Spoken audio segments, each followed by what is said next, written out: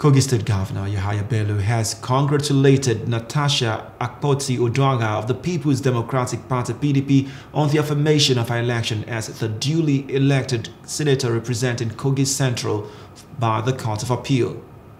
Governor Bello, who described Natasha as a sister, urged Kogi indigents, especially those of Kogi Central, to unite and work for the peace and progress of the state.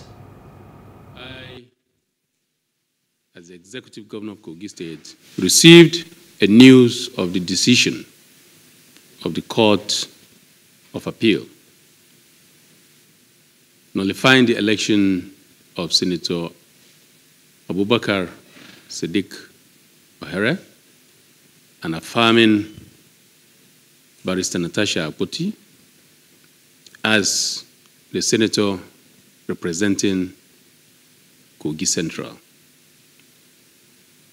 I accept the decision of the appeal court and I use this opportunity to congratulate my sister, Barrister Natasha Akpoti, as the senator of the Kogi Central Senatorial District.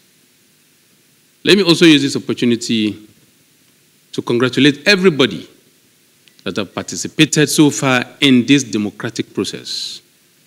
This is the beauty of democracy.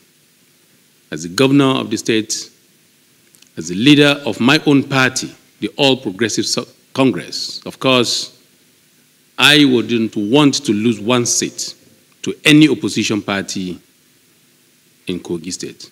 However, both Natasha and Engineer Abubakar Sadiq Ohere, they are both my brother and sister.